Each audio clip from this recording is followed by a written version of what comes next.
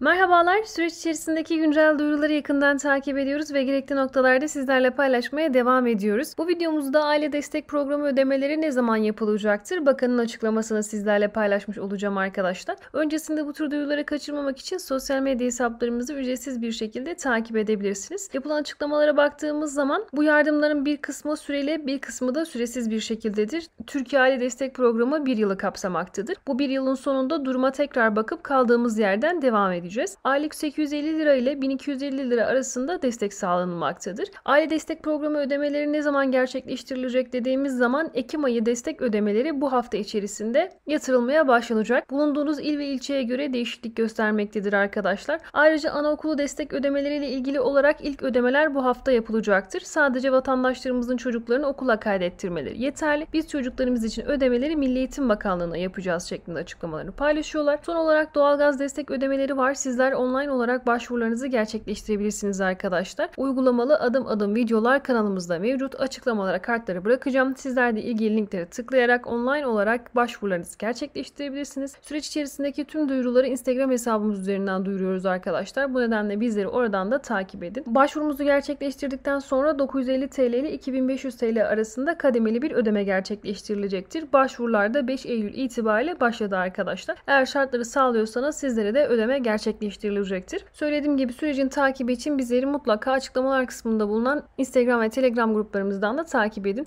Aklınıza takılan sorular varsa yorumlar kısmında belirtebilirsiniz. Diğer videolarımızda görüşene dek kendinize çok çok iyi bakın. Hoşçakalın.